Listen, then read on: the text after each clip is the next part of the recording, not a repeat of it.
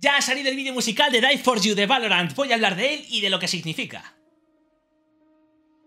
Lo primero que vemos es una internada en el mapa de Split por Brimstone, Sage y Phoenix. La Spike está plantada y Chamber está a la defensiva. Recordemos que Sage y Brimstone son compañeros y en el lore de Valorant, Sage parece ser la vicecomandante del protocolo Valorant, por lo que es normal siempre verles juntos. Sabemos también que Phoenix es impaciente por naturaleza, así que se lanza sin pensarlo hacia Chamber, haciendo primero el uso de su habilidad definitiva, que como bien sabemos le permite morir una vez sin mucho temor, aunque a veces pues no salga muy bien.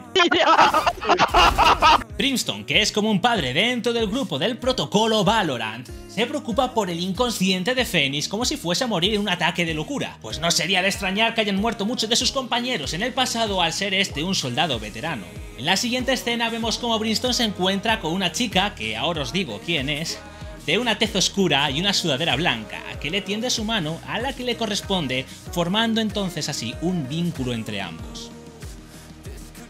Después, y siguiendo la estela de este acontecimiento, Fénix también recibe como un orbe de poder de un ser como al otro lado del espejo, ¿no? Desatando así luego todo su potencial, por supuesto, Sage no iba a ser menos, encontrando a un chico que tiene un aspecto bastante agradable que se puede ver reflejado también cuando se rompe el hielo, cuando Sage está encarcelada, como si este chico le estuviera sirviendo de inspiración. A partir de ahora vemos que los agentes acaban de formar un vínculo con estas personas, en estos mundos digamos que paralelos, ¿no?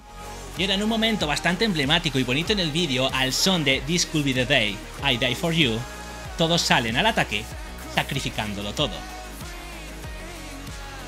Y es en esta escena final cuando vemos a estos entrañables personajes que nos acaban de mostrar que amigos no son otras personas que nosotros mismos, los jugadores. ¿No creéis que es maravilloso?